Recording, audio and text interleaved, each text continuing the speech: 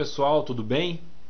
Dia 12 de fevereiro de 2009 é, vou, vou gravar um, uma videoaula aqui de um trade que eu aprendi aí fazer com o André Ribeiro, um dos grandes professores que eu tive e tenho, né, e sempre estou em contato com ele, da equipe do Trade ao Vivo, e, e, que ele gosta de fazer, que ele me ensinou e que todo dia na abertura, é, se abrir em gap, ok? Vou estar explicando o que é gap também, a gente consegue ganhar um dinheirinho, tá? Na maioria das vezes, desculpa, todo dia não, na maioria das vezes, tá? Na maioria das vezes essa técnica funciona. Vou mostrar como que é. Então, primeiramente o que é gap? Primeiramente o que é gap? Então vamos lá. Esse aqui é o gráfico da Petrobras, 5 minutos, tá? Então gap é o seguinte: ontem, o fechamento da Petrobras, o último negócio que ela teve foi a 26,80, correto? E durante a noite, durante a madrugada, tá? É, deve ter saído alguma notícia, as pessoas, não sei porquê, não me interessa porque resolveram comprar Petro e bastante. Então jogaram a Petro a esse valor. O primeiro negócio da Petro hoje foi a 2763, ok? Então o primeiro negócio da Petro hoje foi a 2763. Ou seja, entre 26,80 que foi o fechamento de hoje até a abertura de hoje em 27,63 não teve nenhum negócio, ok? Ela abriu ontem o último negócio 26,80, fechou ontem, desculpa, e hoje já abriu a 27,63. Ficou sem negociação nesse intervalo aqui, ó, tá? Não teve nenhuma negociação, não teve, as pessoas não negociaram entre 26,80 e 27,63. Tá? Então, não sei se vocês já ouviram falar a maioria dos corretores, das pessoas que dão dica aí no mercado, fala assim: ó, cuidado com a primeira hora de pregão. A primeira hora de pregão só tem sardinha operando, né? É, não, não vai entrar na primeira hora de negociação porque só tem pessoas que não sabem operar. Pessoal, se a gente comparar sardinha com criança e tubarão com adulto, né? O que, que é mais fácil da gente tirar dinheiro de criança ou de adulto, né? Se fosse pra gente aí comparar, fazer uma comparação na vida real aí. Não é muito mais fácil tirar dinheiro de uma criança do que de adulto, né? Falam tirar, tirar pirulito da boca de criança. Então, se só tem criança operando essa hora, pessoas que não sabem operar, é a hora mais fácil de ganhar dinheiro, ok? É a hora que a gente gosta de tirar dinheiro da mão das, das crianças que estão operando. Então a gente tem uma regrinha que na maioria das vezes dá certo, tá? Mais de 50% das vezes dá certo. Então, se mais de 50% das vezes dá certo, eu quero fazer todas as vezes, tá? Até porque eu não preciso acertar a maioria do tempo, tá? Porque eu tenho meu risco ganho.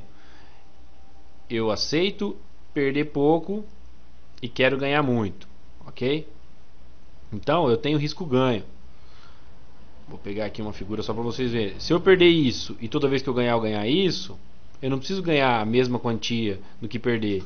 Eu posso perder três vezes esse tanto aqui, sendo que ó, cabe aqui dentro do meu ganho, ok? Se eu perder três vezes essa quantia aqui, essas bolinhas pequenas, e ganhar uma vez isso aqui, a única vez que eu ganhei cobre o custo das três vezes que eu perdi, ok? Olha, as três vezes que eu perdi se engloba dentro de uma bolinha desse tamanho, tá? Então essa é a diferença, ok, pessoal? Olha aqui.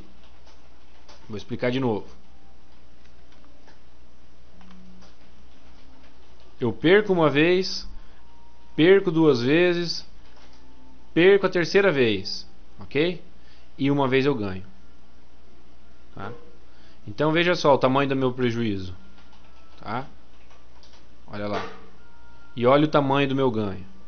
Então, o meu ganho cobre os três prejuízos que eu tive. Então, para eu fazer certo tipo de operação, eu não preciso que ela dê certo mais de que 50% das vezes. Porque quando eu perco, eu perco pouquinho. Inclusive essa operação aqui, eu tentei fazer ela e acertei na segunda vez. A primeira vez eu levei um stop. Tá? Vou até mostrar pra vocês. Que eu fui estopado. Ah, muitas pessoas falam, Osnei, é, é, você poderia postar algum, algum trade que você levou stop? Pra gente saber o porquê não deu certo? Pessoal, a gente não tem como saber o porquê não deu certo, né? As condições que eu entro no mercado, todas as vezes, é através do meu sistema, do meu trade system, que eu sei que porque eu sei que os preços voltam até as médias, né? Fazendo topos e fundos ascendentes ou topos e fundos descendentes. Então, essa operação, no caso, é uma operação que a gente faz contra a tendência. O preço acabou de subir aqui, tá? E eu efetuei uma venda, foi uma operação vendida, tá pessoal? Não é uma operação comprada que eu fiz no começo do pregão hoje, é uma operação vendida, como aquela de BBAS 3 que eu expliquei alguns vídeos atrás aí, tá? Eu vendo para comprar mais barato. Então, como eu sei que o preço volta até as médias, como voltou hoje, né? A gente pode ver que o preço voltou até a média aqui. Na maioria das vezes ele volta à média. Eu vendi aqui esperando que ele voltasse até as médias. E deu certo, tá? Então, os sardinhas, o que, que eles fazem? Eles que tomam conta do início do pregão, como muitos já sabem, né? Então eles vêem alguma notícia, abre lá o Infomoney, abre o EDVFN, ou então recebe alguma dica do corretor ou de um amigo falando assim: olha, o, o, é, vamos comprar Petro que vai bombar, Petro vai subir um monte e tal. Aí o que, que eles começam a fazer? Começam a comprar Petro a, a, qualquer preço.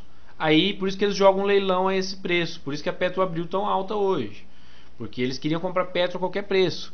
E eu vendo que estava longe das médias, e eu sei que na maioria das vezes o preço volta nas médias, como voltou aqui, eu vendi ela para comprar mais barato.